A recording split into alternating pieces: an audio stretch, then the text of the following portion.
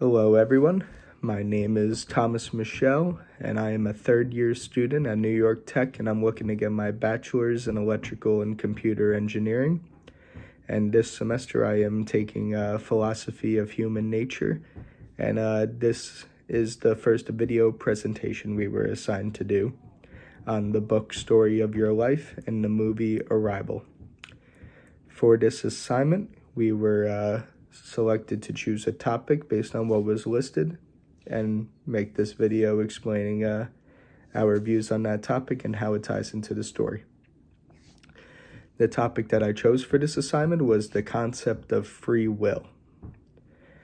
Now, in the story, uh, in the book Story of Your Life, in the story, the character Louise, her job was uh, there were these new beings called the heptapods.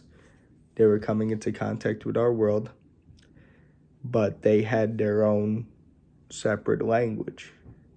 So Louise had to learn the language, understand it, be able to comprehend it, and be able to communicate with the heptapods so that they could find out their motives of why they're coming in contact with our world and pretty much how they live and act as they choose.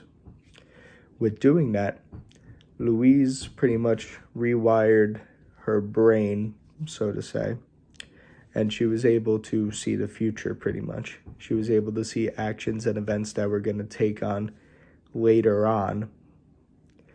And with doing that, that kind of contradicts when we say we have free will, because if, if she could see the future, that means our actions are already predetermined. Like, we're not deciding pretty much at that point what we do and how we live if we could see the future and it's already predetermined. Now, with that being said, my view on uh, free will is with the movie being, you know, classified as a sci-fi film and we've never actually, from what we know, we've never experienced anything like this. We don't know if we could see the future in real life. And so right now I still believe we have free will, that we still get to pick and choose how we want to live our life. And yeah, I still believe we have free will, but you know, maybe we just don't know what's out there. Maybe this story, an arrival and story of your life, could happen to be true, and maybe we don't have as much free will as we thought we did.